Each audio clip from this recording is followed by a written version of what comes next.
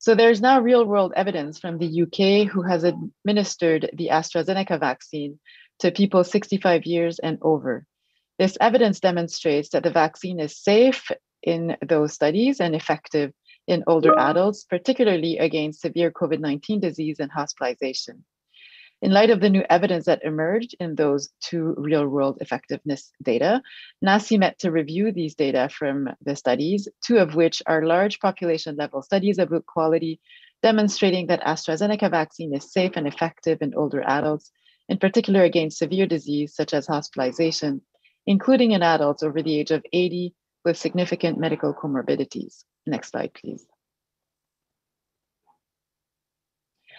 Alors, la première étude que nous avons étudiée est celle de Hyams, euh, dont le titre est Assessing the Effectiveness of BNT162B2 and ChAdOx um, 1 and COVID-19 COVID-19 vaccination in prevention of hospitalization in elderly and frail adults, a single center test negative case control study.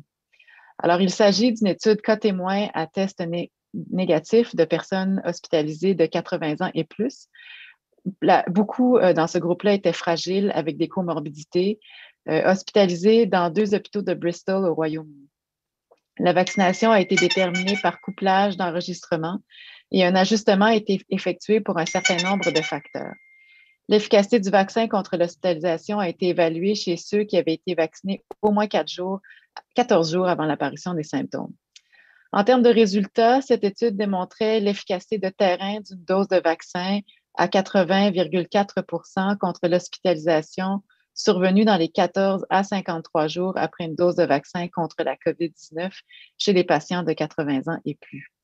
Quand nous avons évalué cette étude, nous l'avons considérée de bonne qualité avec un faible risque de biais. La vaccination a été déterminée par couplage de dossiers et les informations cliniques ont été obtenues à partir des dossiers par les personnes qui étaient à du PCR COVID chez les participants. Cette étude présente des points forts sur le plan méthodologique et l'analyse complète se trouve dans la déclaration. Prochaine diapo, s'il vous plaît. The second study that uh, we looked at was the one from Lopez Bernal, early effectiveness of COVID 19 vaccination with the Pfizer mRNA vaccine and the AstraZeneca adenovirus vector vaccine on symptomatic disease, hospitalizations, and mortality in older adults in England. This one is also preprint so this again is a test negative case control study design using linked surveillance data in the UK among patients 70 years of age and older. For those who were vaccinated, cases and controls were assessed by time since vaccination to onset of symptoms, controlling for a number of factors. The impact of vaccination and hospitalization in those individuals was in age 80 years and older was also assessed in those who tested positive. The results of this study showed that one dose vaccine effectiveness against symptomatic PCR confirmed COVID infection in the adjusted analysis was 22% from day 14 to 20 after vaccination, which gradually rose up to 73% 35 to 48 days after vaccination. On top of that, the effect against symptomatic disease in individuals who were 80 and over was an additional 37% protection against hospitalization within 14 days of a positive test in those 14 or more, more days after their vaccine dose compared to those who were unvaccinated. We deemed this study of good quality with low risk of bias. And again, the record linkage um, was done using large data sets, which is a strength of this study. And again, the full analysis can be found in the statement. Next slide, please. La dernière étude euh, qui avait été évaluée en fait avant le 1er mars était celle de Vassiliou, Effectiveness of First Dose COVID-19 Vaccine Against Hospitalizations uh, and Hospital Admissions in Scotland, Effectiveness Findings from Scotland National Prospective Cohort Study of 5.4 million, which is a preprint again on the Lancet website. Juste pour vous dire qu'en raison de préoccupations liées aux faiblesses méthodologiques de cette étude, euh, le CCNI n'avait pas utilisé ces résultats pour, étayer ses recommandations. En fait, un, euh, nous avions évalué que cette étude était à haut risque de biais et que par ailleurs, euh, l'étude avait démontré une efficacité très élevée de la vaccination à prévenir les hospitalisations dans les deux premières semaines suivant la vaccination, ce qui est biologiquement peu plausible. encore, l'analyse complète se retrouve dans la déclaration et dans ce contexte, comme je l'ai dit précédemment, nous n'avions pas utilisé cette étude pour modifier notre recommandation. Next slide, please. So following this careful review, NACI decided to expand the recommendations for the use of the AstraZeneca vaccine to include those 65 years of age and over. NACI will continue to closely monitor data from ongoing clinical trials and evidence from real, real world use of the AstraZeneca vaccine, and that includes um, safety, and will revise their recommendation as needed. Next slide, please. Donc, pour euh, le futur, Donc, le CCNI, publiera une déclaration complète référencée sur euh, l'utilisation d'un intervalle prolongé entre les doses. Nous sommes en train de réviser les données pour le vaccin Janssen de Johnson Johnson. Euh, prévoyons une recommandation euh, dans quelques semaines. Euh, l'examen du vaccin Novavax est prévu euh, dans quelques semaines, donc nous n'avons pas encore vu les, données de Novavax et euh, l'examen du nombre optimal de doses de vaccin pour les personnes précédemment infectées par le SRAS-CoV-2 euh, sera étudié dans la semaine du 22 mars avec, nous espérons, une recommandation dans les jours qui suivront. next slide, please. You can see the full update um, using that link. Next slide, please. And um, you have NACI membership here. Um, so as I said, this type of technical briefing will be done moving forward with every NACI release. It's not that we had anything particular to say at this point in time more than what was in the statement.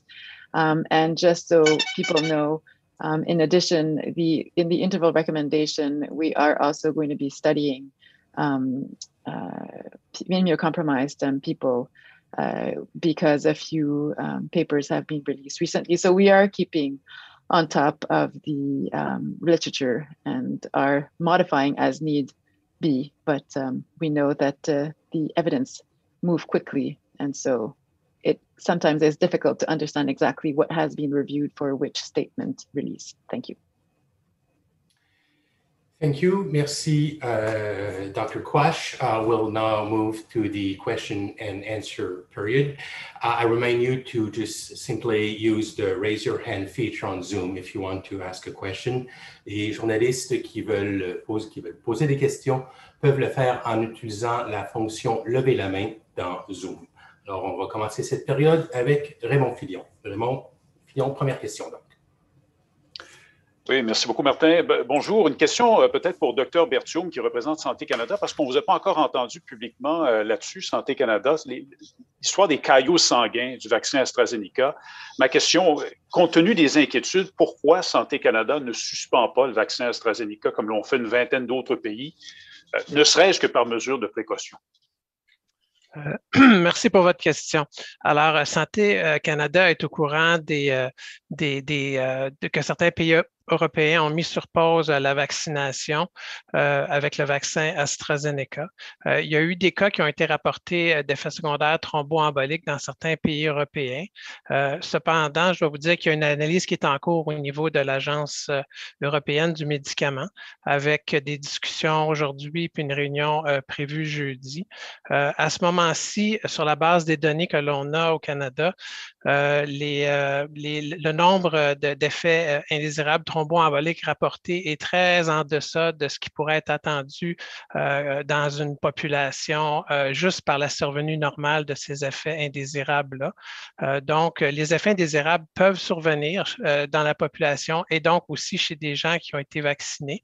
Ça n'établit pas nécessairement un lien de causalité entre l'événement thromboembolique et le fait que la personne a pris un vaccin. Donc, il doit y avoir une investigation poussée. Chacun des cas en Europe va être investi euh, par l'Agence européenne du médicament. On est en consultation, euh, en, communication constante avec eux. Euh, actuellement, je dois dire aussi qu'au Canada, les lots qui ont été distribués ne sont pas les mêmes lots qui ont été distribués en Europe. Les lots du vaccin d'AstraZeneca qui sont distribués au Canada sont des lots qui sont développés sous licence par le, une compagnie qui s'appelle le Serum Institute of India.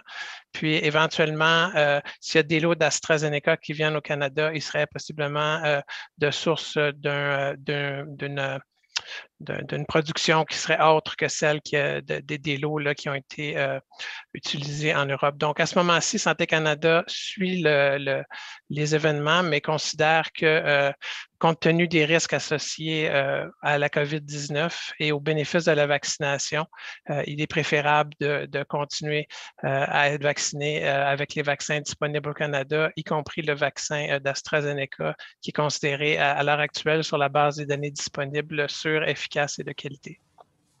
Merci. Question de suivi?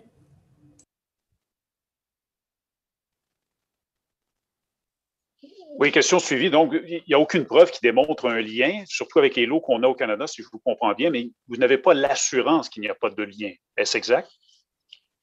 C'est-à-dire que, comme j'expliquais, ce qu'on doit garder en tête, c'est que des événements indésirables peuvent survenir euh, suite à, l'inoculation d'un vaccin. Ensuite, on doit déterminer est-ce qu'il y a un lien entre ces effets indésirables-là et le vaccin. Sur la base, par exemple, des données que l'on a pour le vaccin, le vaccin AstraZeneca, où presque 24 000 personnes ont été inoculées avec le vaccin dans les essais cliniques, euh, le taux de survenue des effets secondaires thromboemboliques était plus bas dans le groupe vacciné que dans les groupes contrôle. Ce qui veut dire que quand on contrôle de façon aléatoire, on répartit euh, les sujets dans les études, euh, il n'y a aucune évidence que le, vaccin d'AstraZeneca à l'intérieur des essais cliniques cause des effets secondaires thromboemboliques. Je dois aussi rajouter que jusqu'à maintenant, les effets secondaires thromboemboliques ne sont pas des effets secondaires qui ont été associés de façon typique avec les vaccinations en général. Mais ceci dit, Santé Canada euh, continue d'investiguer la chose. Au Canada, on n'a pas eu de rapport d'effet indésirable euh, avec le, vaccin d'AstraZeneca de nature thromboembolique. Il y a eu deux cas de nature thromboembolique qui ont été rapportés avec le vaccin de Pfizer. Euh, puis je dois dire aussi que euh, l'information quand même que l'on a actuellement, c'est qu'il y a eu 17 millions de doses qui ont été distribuées euh, en, Europe du vaccin d'AstraZeneca et inoculées. puis les cas rapportés sont dans quelques dizaines de cas, alors que les cas attendus seraient probablement plus dans quelques centaines de cas. donc, il faut garder ça en tête. Il faut éviter de prendre des décisions hâtives sur la base des informations que l'on a actuellement. tout semble indiquer que le vaccin est sûr euh, à l'heure actuelle. Mais comme je vous dis, on continue de suivre la chose euh, d'heure en heure, de jour en jour. Puis s'il y a des changements à la position de Santé Canada, ça va être communiqué immédiatement euh, aux, différentes instances et au public en général. Merci beaucoup. I will now move to Mackenzie Gray. Hi there. My first question is for Dr. Berthiaume. I know you just answered this in French, but if you just go over to English as well, too. I mean, what's Health Canada doing to track uh, the safety of the AstraZeneca vaccine, considering many European allies have uh, stopped using it right now? Yes, uh, thank you for your question. So Health Canada is actively monitoring the ongoing uh, situation in Europe. As you are aware, uh, many uh, European countries have paused their vaccination uh, and uh, because they're currently investigating a number of cases that, that has been reported in different countries that are thromboembolic adverse event. Um, based on the information that Health Canada um, has uh, reviewed, the number of cases of thrombotic adverse, adverse event at this point in time are uh, lower than the rates that would be expected in uh, the population uh, that has been vaccinated with the AstraZeneca vaccine. So uh, we are aware of those cases. We are in uh, direct communication with the European Medicines Agency and with the, the sponsor. Uh, we are looking uh, to get uh, additional information about the case. Uh, the, the pharmacovigilance uh, Uh, regulatory uh, committee in Europe uh, will uh, discuss the issue today and will uh, convene a meeting on Thursday where more information will be provided. At this point in time, based on the information that has been um, distributed by and reviewed by Health Canada, there is no safety concern with the thromboembolic adverse event because the lower the the um, number of events are lower than expected, but we're actively looking into the issue. So overall, Health Canada considers that uh, the benefits of the vaccines, uh, considering the risk of contracting COVID infection and its associated uh, complication, um, are, are, uh, outweigh the, any risk uh, that potentially be associated uh, with the vaccine. Thank you. Follow up? Yeah, my follow-up question is for Dr. Quach. Uh, I think it was on March 1st that NACI put out its recommendation that uh, AstraZeneca shouldn't be given to people over 65. And I know this isn't your fault, but then on the second, uh, new data comes out, and then on the third, new data comes out. Um, why did NACI wait so long after receiving what seems to be fairly concrete data that it's okay for 65 year olds to get the vaccine? And how much damage do you think uh, people will think of getting this vaccine? Because originally it was not for 65, now it is for 65. There's a lot of moving parts for this. You think, are you concerned that people would be uh, hesitant to get this because of uh, the moving parts? Well, I think that everything that is moving tends to create uh, raise questions. Um, in terms of uh, the sequence of events, NACI was working on different questions at that point in time. And given the fact that these data were coming out and the fact that there were other um, alternatives in terms of vaccines available in Canada for the elderly population, we didn't necessarily modify the sequence of events. Um, maybe I can refer this to Matthew Tunis, the executive secretary of NACI, just because the process is more with the secretariat. But there were, I mean, the teams were busy with other files. Um, Matthew, I don't know if you can add anything to this. Um, yeah, sure. I mean, as Dr. Quach mentioned, the you know the committee is very busy, obviously meeting weekly to discuss uh, all the emerging data and these important topics. So there's always inevitably going to be a bit of a lag between when a committee deliberates and when the advice is uh, is made public. And as we've seen with this pandemic, as you mentioned, I mean, new data are coming out every day, and so um, it's it's an inherent feature of this kind of deliberative committee where we bring together these experts, convene them um, based on the available evidence, so they, they can make, make a decision at a point in time. Then that decision is made public, and as more evidence emerges, then the committee reconvenes, deliberates again, and updates their advice as they can. And I mean, there's there's really no other way to ensure a a, a robust, um, you know, stable discussion among a committee of so many experts uh, that, so I, I, think it's we're going to continue to see this throughout the pandemic as new evidence emerges and is onboarded. Um, that recommendations are going to have to change, and it might be that the the evidence comes days after a decision. It might be weeks after a decision or months. Um, we, we have no control over where data is coming from, and uh, it's impossible to predict the future about what's going to come out on which day. So it's um, I think it's to some extent the uh, you know the, the nature of trying to do these careful deliberative decisions in this dynamic environment. Thank you. And and maybe i will just add that at that point in time we were hoping to get the phase three or the randomized control trial um, from astrazeneca that is currently done in the us which includes more um, participants age 65 and over we had the impression that these data would be available early to mid March, and therefore we said, you know, we we see that there are studies coming out, but if we are going to change recommendation based on real world evidence, and if, if the phase three shows something different, um, what would move the needle most? And so at one point in time, you know, you try and do some risk mitigation. At that point in time, um, we thought that that AstraZeneca study would be ready, and then we learned um, later on in the week that it wouldn't be ready before April. And that's when we decided to um, look at the real world evidence and, and change our recommendation. But I think, as, as um, Matthew said, it's easy looking backward to say, oh, you didn't have more data, so it was easy, you should have done it. But moving forward, it's there's always a cost of opportunity. So if you are to change something based on, on data from the real world that are in terms of um, hierarchy of uh, data quality a little bit lower than randomized control trials data. And if your randomized control trial comes out the day after showing the opposite, then we would have been um, in a bind. So easy to say now that we should have, but moving forward, we did that in all good faith um, and tried to evaluate our options. Thank you. Thank you. On va poursuivre avec euh, Mélanie Marquis.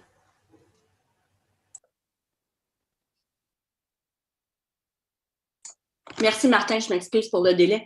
Euh, la question est pour euh, Dr. Quash. Comment euh, réconcilier le fait que le comité aujourd'hui ouvre la porte plus grande à l'administration du vaccin AstraZeneca au fait qu'il y a toutes ces préoccupations en Europe? On a l'impression qu'eux appuient sur la pédale de frein alors que, nous, on va plein gaz. Comment, comment faire passer le message? C'est une excellente question qu'on s'est posée hier.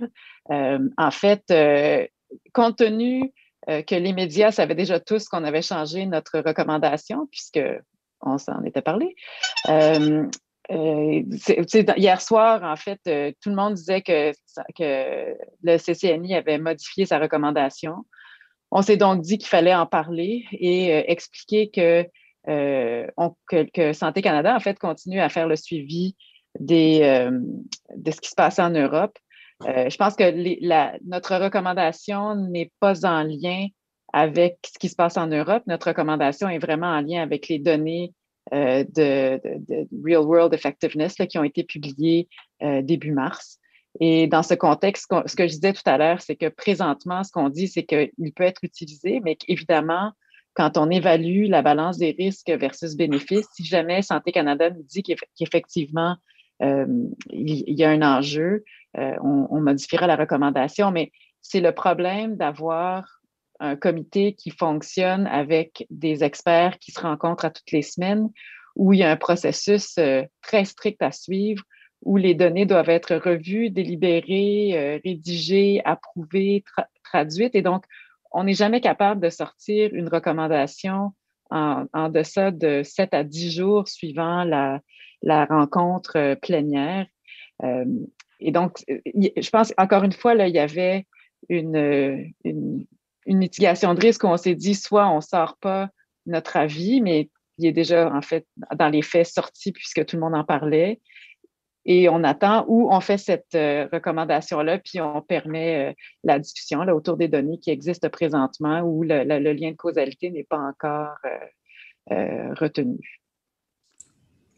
Pour, euh, en question de suivi, toujours euh, pour vous, puis peut-être euh, docteur Bertillon aussi, si vous voulez vous lancer dans, dans, la mêlée. Je sais que, bon, vous n'êtes pas le gouvernement, mais compte tenu qu'il y a une certaine hésitation, qu'il y a une population âgée de 65 ans et plus qui va hésiter à se faire administrer de vaccins, est-ce que ce serait pas sage de revoir un peu les listes de priorités pour s'organiser que, par exemple, le vaccin d'AstraZeneca soit donné en priorité à des populations plus, plus jeunes? Euh, ça, je vous dirais que ça relève euh, euh, des, des, provinces et des territoires. nous, quand vous lisez notre recommandation, on demande, en fait, notre recommandation demeure préférentielle pour les vaccins ARN messagers dans les groupes à plus haut risque de complications. nous avons quand même libéralisé l'utilisation du vaccin d'AstraZeneca pour les personnes plus âgées, mais euh, après ça, euh, les, provinces pourront décider de l'utiliser comme elles voudront. Je pense que l'idée, c'était de permettre cette flexibilité-là aux provinces et aux territoires euh, pour, que le, pour, pour augmenter en fait l'offre de vaccination pour être capable de vacciner le plus de personnes possible. Je pense qu'il faut quand même réaliser que dans les études de, dans la vraie vie, que le vaccin d'AstraZeneca avait quand même une efficacité de terrain entre 70 et 80 quelques pourcents à prévenir les hospitalisations et les décès après une première dose, tel que rapporté par les études, euh, les deux grandes études euh, faites en Grande-Bretagne. Je ne sais pas si Dr. Berthiaume veut rajouter quelque chose. Euh, oui, merci, Dr. Question. Peut-être juste préciser que, dans le fond, l'ordre de priorisation des groupes euh, pour la vaccination est déterminé par, euh, ben, sous les conseils du Comité consultatif national d'immunisation. Ben, ultimement, c'est déterminé par les autorités de santé publique. Le rôle de Santé Canada, c'est vraiment d'approuver les, les, les vaccins sur la base des données qui sont fournies, puis ensuite les, les la priorisation, dans le fond, de lequel euh, vaccin est le plus indiqué, plus utile, le mieux pour tel groupe. Euh, ces déterminations-là sont faites euh, par la suite par d'autres groupes que Santé Canada. Merci. Uh, we'll now move, we'll now go to David Thurton. Hi. Uh, uh, the audio is great during this press conference. We've had some issues with it in past Zoom ones, so thank you. I will say that someone's, uh, I think, phone keeps going off. Uh, it sounds like a horn. You might want to just put that on mute. And that's if, mine. I'm sorry. I'm on call.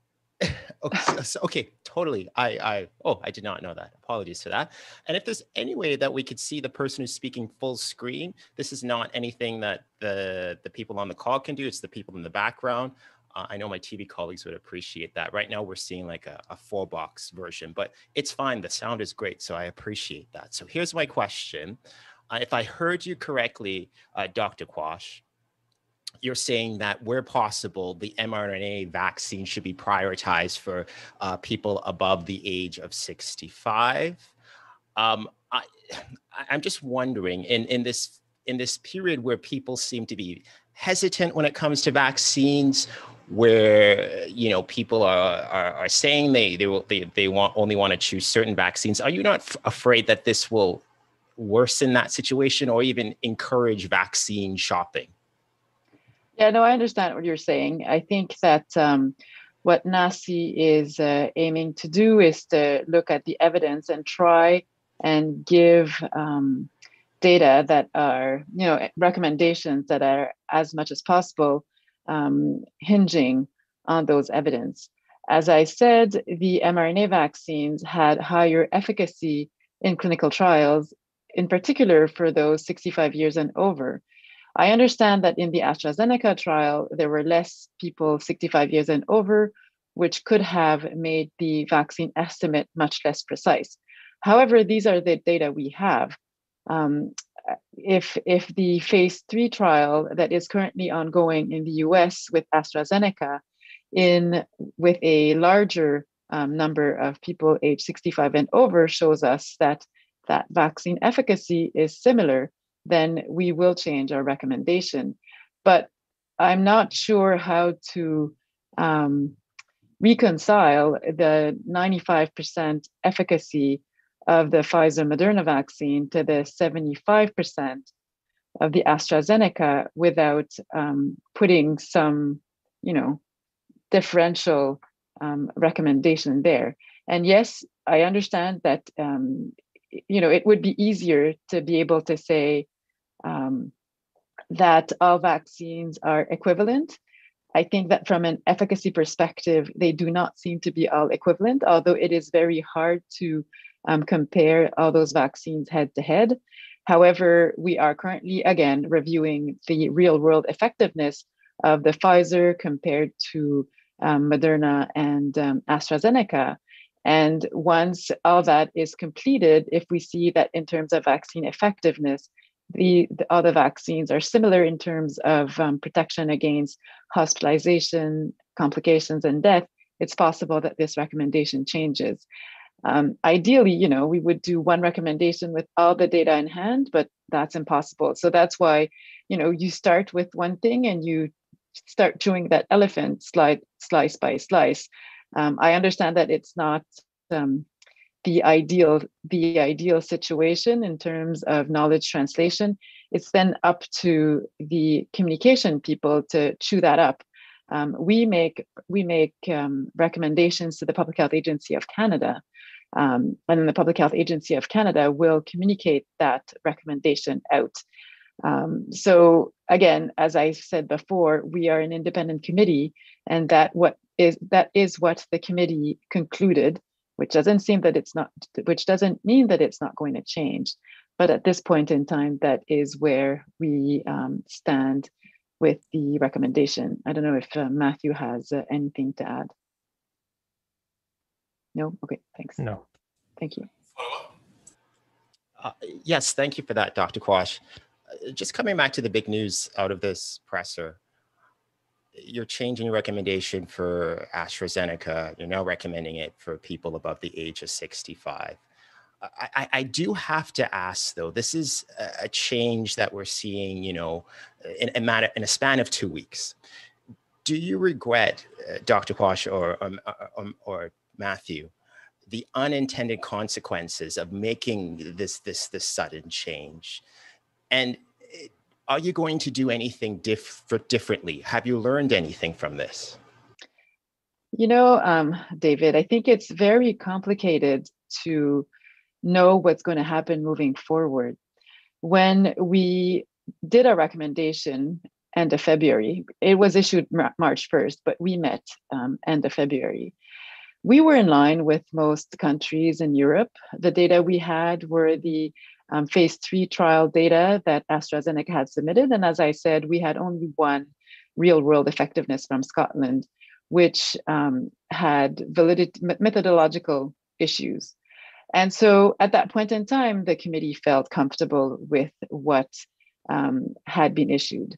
In the week after, there were real world effectiveness data that came out, and then European countries started to change their recommendations. Not all of them, but some of them.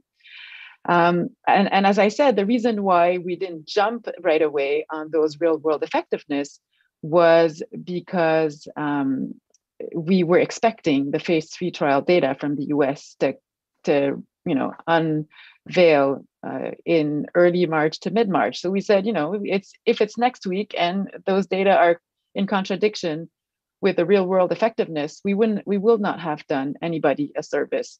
So I think that people have to realize that it's not that we're flip flopping, it's just that we try to monitor the evidence. I think the only thing that um, I would say would have been done differently is the communication support so that we would have been able to explain all this exactly as we're doing today. And so, based on that, um, I think the Public Health Agency of Canada has now um, recognized that this support was absolutely necessary, and this is now put in place could have been done earlier, but you know, it's the first pandemic of this size, and it was the first time that we ran into so much um, complications. The unintended consequences, well, the provinces and territories were still able to use the vaccine as recommended by Health Canada. It was done in Quebec from the first week of March, like towards the end of that week. Um, others could have done the same.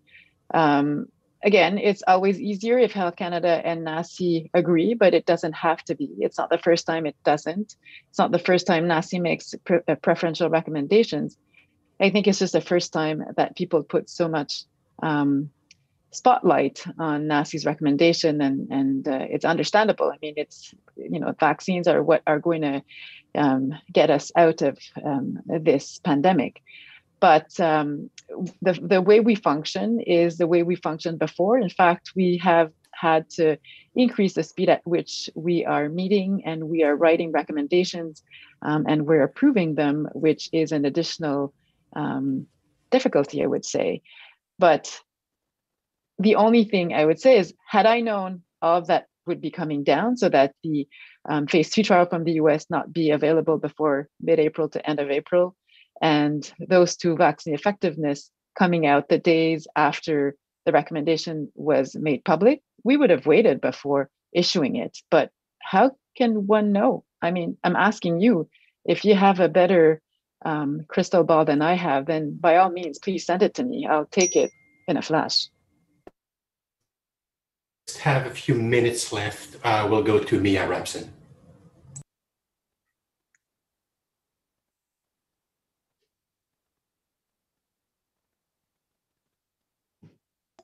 Oh, sorry, am I unmuted now?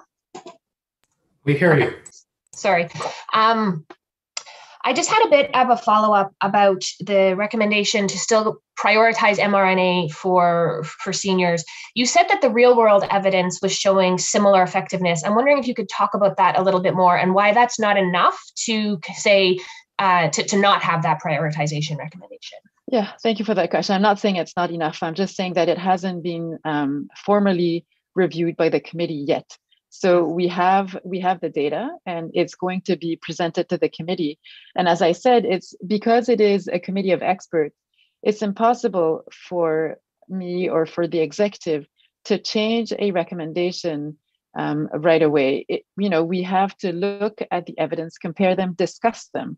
And given everything else that has been going on in terms of moving parts, that is in the works but is not yet finalized. So what I'm saying is it's possible that based on these real world evidence from the mRNA vaccines, that the preferential recommendation changes. But I can't um, presume of what the committee is going to say because it hasn't been debated yet.